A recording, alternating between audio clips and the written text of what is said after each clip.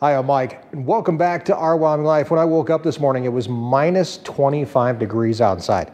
I went out and I got the cows fed. The tractor tried to gel up on me and died a few times. And I managed to get all the chores done this morning that I needed to get done, but I still needed to bring you guys out for part of the day, kind of show you guys what's going on around here. So I thought what we would do today is we're gonna go take a look at some of the animals. I've got some scraps that we're gonna feed the goats and the emus and that kind of stuff. Stuff from the house, kind of my daily uh, tasks, I guess, uh, especially when it's this cold because you can't really do much outside. However, I wish that I could. And uh, you may recognize this thing. This is actually the Alkota hot pressure washer. We use this this summer. Um, I've got it here in the shop. We're gonna use it again next year. We're gonna definitely get our, our, our usage out of that thing. But the folks at Alkota are working on making ranchers' lives and farmers and whoever's really, in fact, NFL players for all I know, uh, making their lives a little bit easier with the form of heat. And while we're gonna go check on the animals and do all that kind of fun stuff, we're also gonna take a look at this thing. And this is brand new to the ranch. Get a chance to play around with it. Alkota's letting me borrow it. It is a diesel fired radiant heater. This thing is a beast and we're gonna take a look at it just a little bit later. But first, we are gonna get cold. We are gonna take a few pieces of lettuce here that came from the house and we're gonna go head out and see the emus. Days when it's super duper cold like it is today, uh, you can't really do a whole lot outside. Honestly, there's just not much to be done. So I find myself in the shop or in the house preparing for what is to come. And of course, for us here on the ranch, that's calving season. We kind of talked about it in our last video, but I started looking at different ways that, that we can make calving better. And I'm going to tell you that radiant heater, I think is going to make a huge difference uh, during calving this year. In fact, I think it's going to allow us to heat part of our barn. All that good stuff is coming up, but over the next, what, few months, I guess. But I thought we would come down today, we'd see the emus. We're gonna go see some of the other animals as well and make sure everybody's doing okay in the cold weather. Emus tend to freak people out. In fact, even friends of mine have said there's no way that I'm getting anywhere near that animal. And it's not like they're gonna poke your eyes out or anything. In fact, they are pretty friendly. This is Jenny, the big one here. Jenny, hey. Hey, you want some lettuce?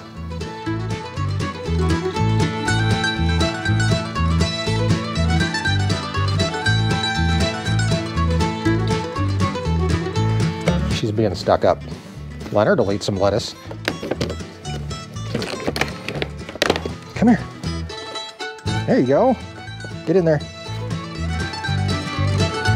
No? How about you, Leonard? You want some lettuce?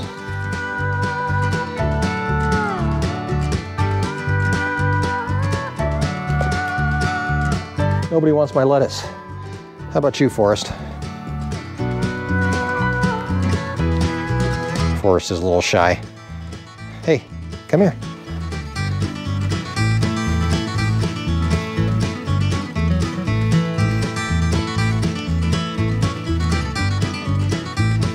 You don't want to go out there. It's cold out there.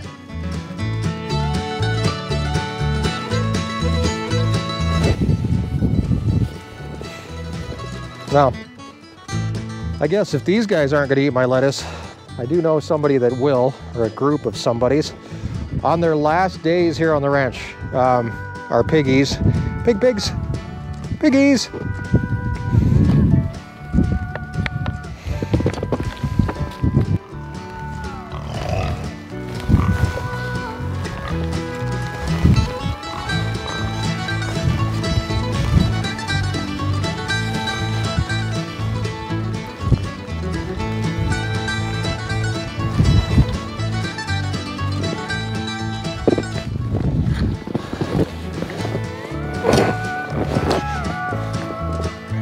Get in there.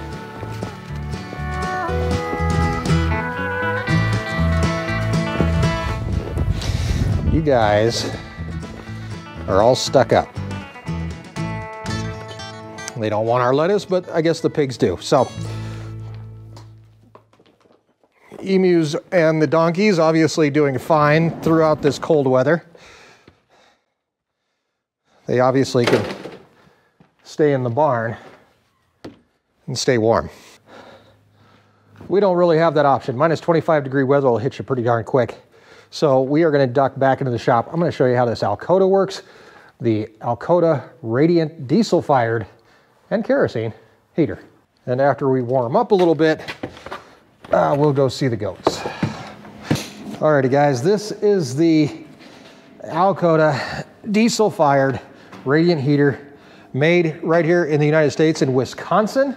This thing is a beast. Now, first of all, I'm gonna fire it up so you can see what it does. Then we're gonna run through it really quick and I'll show you how it works. Super easy, just turn it on and here it goes.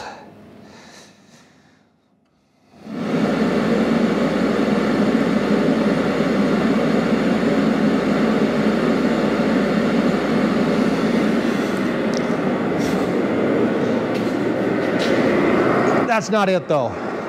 Here comes the flame. Wow.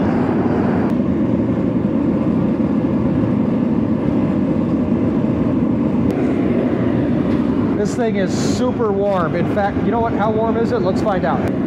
Here I've got my little laser uh, thermometer. Room temperature in here is 32 degrees right now.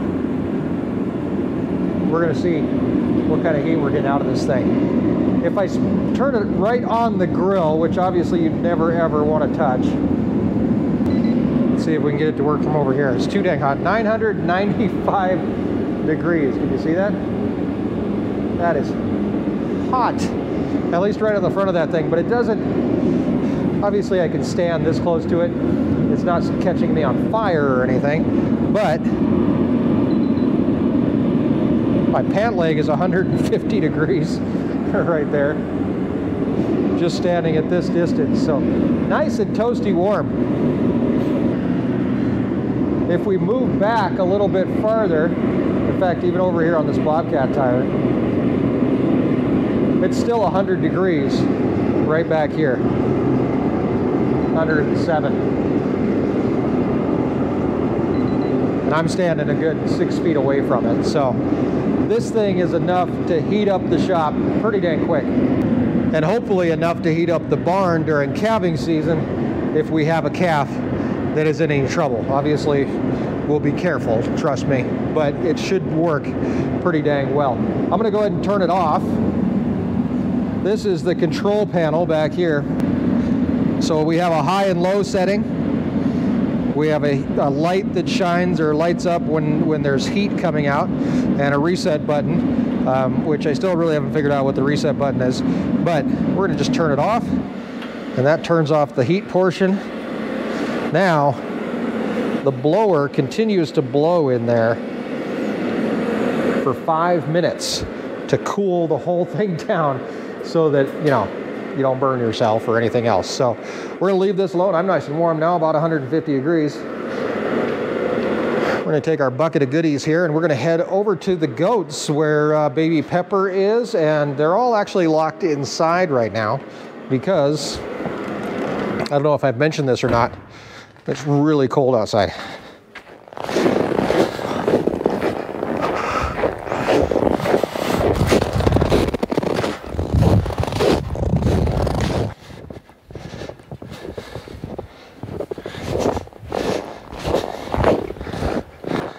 That's squeaky snow. Super cold. All right, I've gotten a lot of emails here lately about that building right over there, uh, wondering what's going on. And I can tell you it's not ours. Um, here last year, Erin's mom actually ended up selling a small portion of the ranch and uh, some people bought it and now they're building, it looks like a shop, but I'm not exactly sure. I actually haven't met them yet.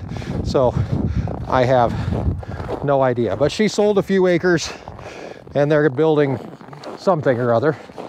None of my business, so they can do what they want to do. As for us, I'm glad to say we made it to the chicken house.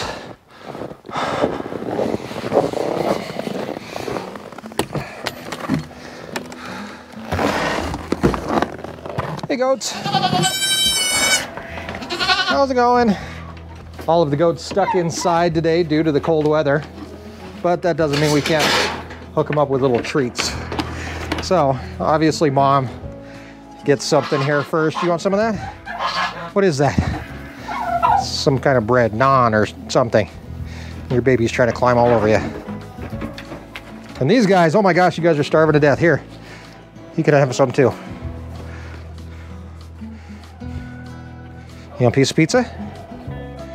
Mmm, yummy pizza. Probably not healthy for you at all.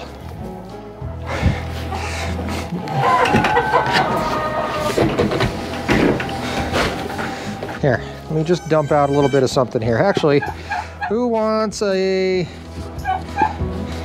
who wants a tater tot? Waffle? Waffle? Do you want a tater tot? What are you chewing on now, buddy? There you go, have a tater tot. And how about you? Do you want a cucumber? No? You don't want any veggies? How about this thing? What is this? This is a piece of a pepper. Hey, hey, quit trying to steal her naan. That's her naan. They like the bread. Oh, there we go. Peppers are good.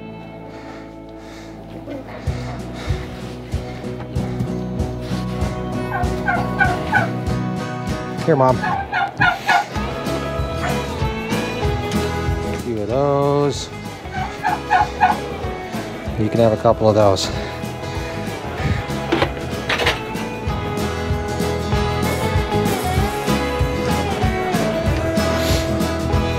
The chicken house, by the way, is heated by this heater right up here. Um, seems to do the job pretty well. It's uh, not exactly warm in here, but it's definitely not frozen. Water's still going. Of course, all the ducks and geese still look pretty dang happy too. Along with the chickens. How many eggs do you think we got? I did gather eggs this morning, but eggs are the big topic right now. So we've got one, two. Hey, what are you guys doing? Cohabitating. Three, four, five. What do you got in here?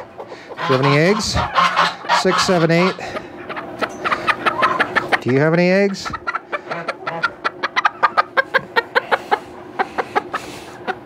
Eight eggs. Nine, ten, eleven, twelve. A full dozen eggs ready to go. That's worth like, what, 50, 60 bucks. All right. Whew. That's enough for in here, I think. I don't have anything else, guys. That's it. You guys are lucky you're not outside. It's cold out there. Pepper, I'll see you later.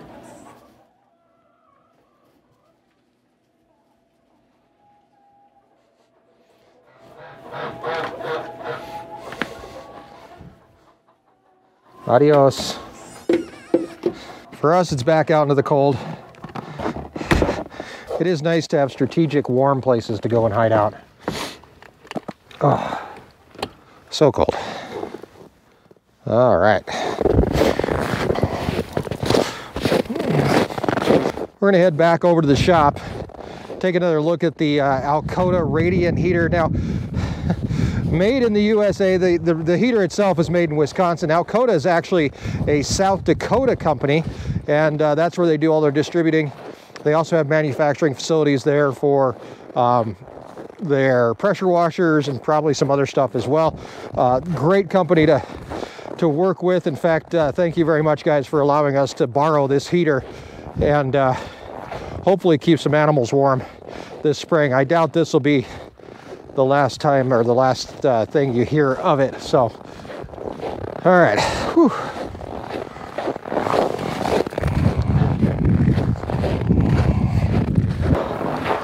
I can't remember if I mentioned it, but uh, the tractor actually gelled up this morning. It's the first time it's done that in a long time. Not fun at all, though.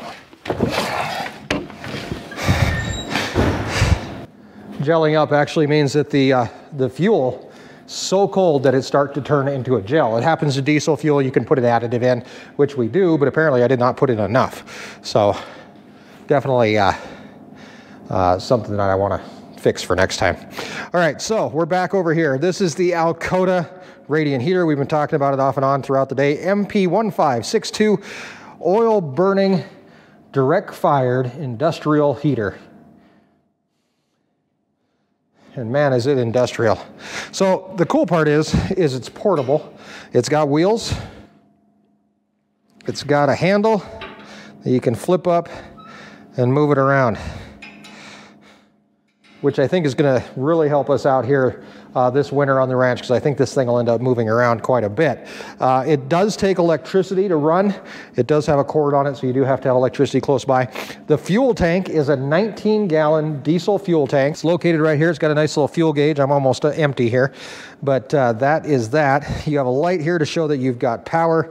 And then, like I said, all your controls here on the top. So really all you have to do is choose high or low and turn it on and away it goes.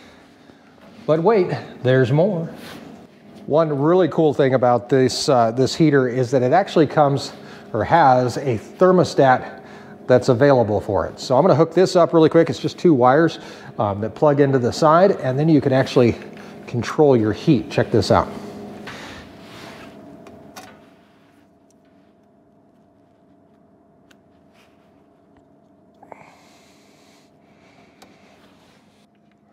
I'm gonna turn it to 50 degrees. We're gonna go back over here. We're gonna turn it on.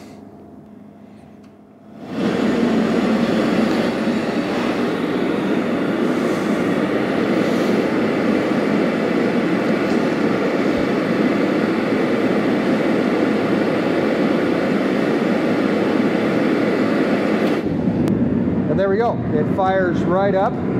But what we can do is actually come over here to our thermostat, and I think it's probably warm enough in here, but I'm not exactly sure. We can turn this down to 41. And then the hope is that it turns off.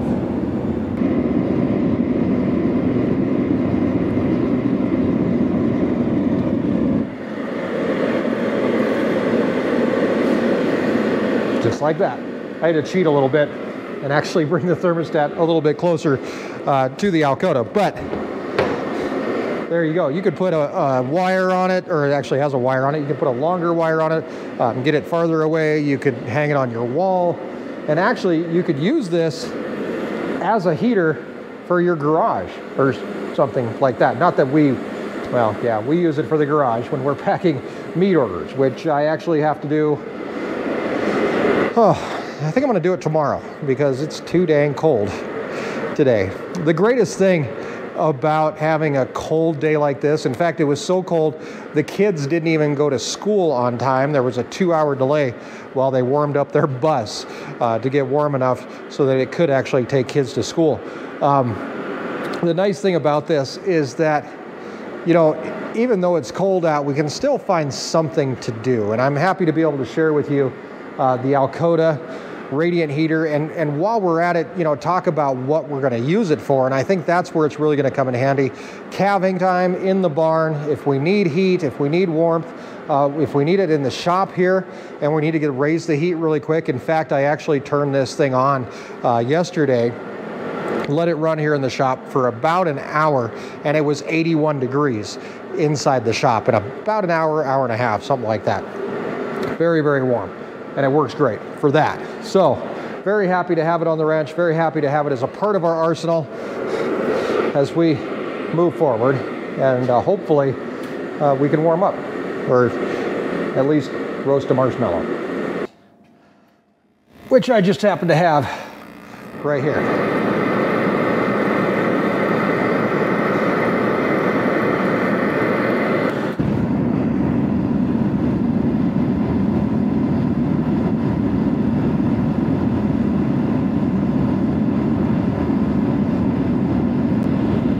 Other places we're hoping to be able to use this thing um, are frozen hydrants. If we have, if we happen to have a, uh, uh, a stock water tank that, wow, it is really hot right where I am at. if uh, we happen to have a, uh, a, stock tank that freezes over and it's metal, we could probably use this to thaw it out. I have to move. Maybe I can do this from over here. Okay, so if we if we have a hydrant that freezes or a, a, stock tank that freezes over or something like that, the hope is that we can actually use this to thaw it out. Um, as long as we have power, as long as we have diesel fuel, we're ready to go. 19 gallon tank will run, will, it's about a gallon an hour, so about 19 hours uh, to be able to, uh, uh, is your runtime on this thing. And I'm not sure if that's on high or on low. So, but low is plenty hot too. High is really hot. I think it's it's on high now. It's warm. Warm enough to get a perfect roast on a marshmallow. Look at that.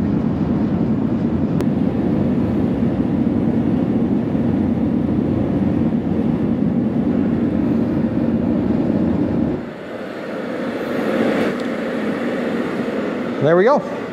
Perfectly roasted marshmallow. Hmm. Only a slight hint of diesel fuel. Oh. It's because I have diesel fuel on my fingers. oh well. Found another thing to put in the brochure. Makes a pretty good roasted marshmallow. Thanks, guys, for hanging out with me. I might have to have another one of those. Those are pretty good. Uh, minus 25 degrees out, no fun at all, but still plenty to do and stuff to test and to have just a little bit of fun with. Not too much. Don't have too much fun. Alrighty, guys, we'll see you later. And thanks for joining me on our Wyoming Life.